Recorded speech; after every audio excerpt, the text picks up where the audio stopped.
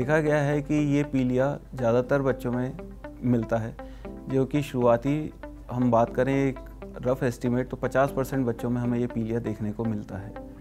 ये पीलिया तब और बढ़ जाता है यदि बच्चे का समय से पूर्व जन्म हुआ हो, या 35 से 36 हफ़्ते के बीच में बच्चों में ये पीलिया हमें देखने को मिलता है। जहाँ तक हम कारण की बात करें तो इस, यह तीन या चार तरह से हमें कॉमनली मिलता है। एक तो होता है फिजियोलॉजिकल जॉन्डिस जो कि दूसरे तीसरे दिन आता है और ये चौदहवें दिन तक अपने आप चला भी जाता है। इसमें हमें घबराने की ज़रूरत नहीं पड़ती क्योंकि यह पीलिया स्वतः ही आता है, स्वतः ही चला जाता है। ये होता है मेनली बच्चों का लीवर। इस समय पूरी तरह से जो पित्त बनता है, उसको पूरी तरह से निकाल नहीं पाता और यह ब्लड में चला जाता है, जिसकी वजह से बच्चे की आँखें और त्वचा पीली होने लग जाती है। दूसरे पीले की बात करते हैं, जिसको पैथोलॉजिकल जॉन्डिस कहा जाता है। इसमें मेनली यदि अगर माँ को ब्लड प्रेशर हो डायबिटीज़ हो या थायराइड की बीमारी हो तो इन बच्चों में ये पीलिया ज़्यादा बढ़ जाता है। दूसरा कारण अगर और देखें तो यदि माँ और बच्चे का ब्लड ग्रुप अलग हो, जिसको हमारी भाषा में इनकॉम्पेटिबिलिटी बोलते हैं, उन बच्चों में ये पीलिया ज़्यादा मिलता है। यदि समय से पूर्व बच्चे हों या कमज़ोर वज़न के बच्चे हों, उनमें ये पीलिया ज़्यादा मिलता है। यदि बच्चे को सही से दूध नहीं पिलाया जाए तो उन केसेस में ये पीलिया बहुत बढ़ जाता है। जो कि आगे चल के बच्चे का बिलरुबिन बढ़ता है और ये बच्चे के दिमाग को क्षति पहुँचा सकता है।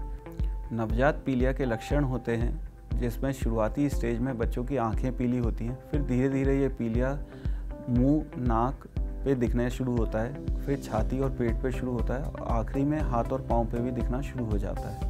इस पीलिए के यदि अगर हम आगे कॉम्प्लिकेशंस की बात करें तो ये पीलिया आगे चल के बच्चे का दिमागी विकास रोक रोक सकता है। बच्चे को झटके आना शुरू हो सकते हैं। बच्चा एक टक एक जगह देखना शुरू कर देता है और बच्चे की सुनने की क्षमता भी कम हो सकती है या जा सकती है। नवजात शिशु के पीलिए के लिए डॉक्टर आपको ब्लड टेस्ट की सलाह देते हैं, जिसमें सीरम बिलरुबिन की जाँच करवाई जाती है, जिससे हम पता करते हैं कि बच्चे का इलाज घर पे किया जा सकता है या फिर अस्पताल में भर्ती करने की ज़रूरत पड़ती है।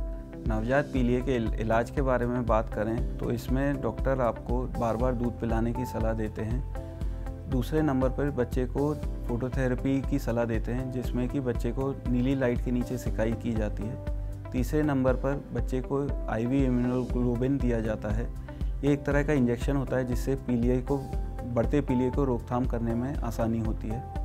चौथे नंबर पर यदि पीलिया बहुत ज़्यादा बढ़ जाए और इन इलाज से कोई कारगर नहीं हो तो हमें बच्चे का ब्लड बदलना पड़ता है, जिसको कि डबल एक्सचेंज ब्लड ट्रांसफ्यूजन कहते हैं। यदि हम कहें कि ये पीलिया अपने आप ठीक हो जाएगा तो वो केवल फिजियोलॉजिकल जॉन्डिस ठीक हो सकता है। यदि पैथोलॉजिकल जॉन्डिस है तो उसको आपको अस्पताल में ही ले जाके इलाज करवाना पड़ता है।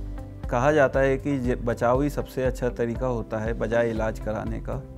तो हमारी सलाह यह है कि यदि अगर अपन बच्चे का पीलिया पहले पकड़ लें तो उसका इलाज प्रॉपर हो जाएगा। यदि अगर हम बच्चे का इलाज सही से नहीं कराते हैं तो फिर उसके बाद बच्चे को परमानेंट डैमेज हो जाता है और बच्चे की जीवन भर खराब हो सकता है।